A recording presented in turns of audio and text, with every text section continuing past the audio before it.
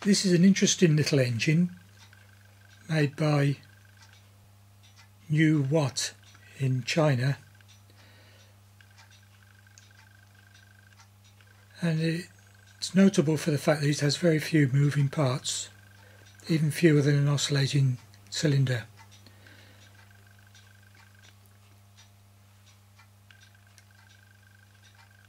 In, in this case, it's just the piston that rocks,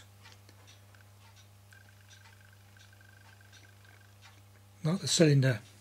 The cylinder is fixed. And you notice that the crankshaft is offset from the center line of the cylinder so that at that point the crank pin is in line with the cylinder whereas at that point it's much higher. And the piston as it's fixed to the piston rod piston tilts as it as it goes round. So on, in that part of the stroke that part the piston is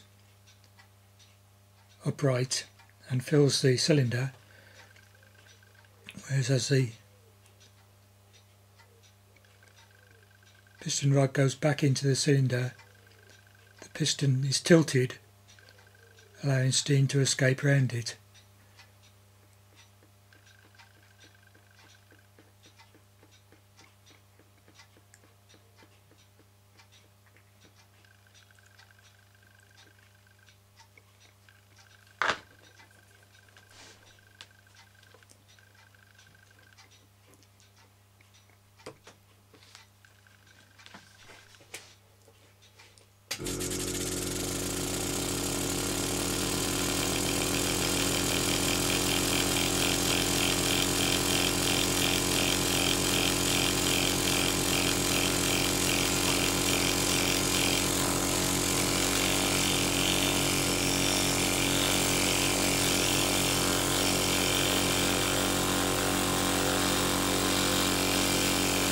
even with my very small low pressure compressor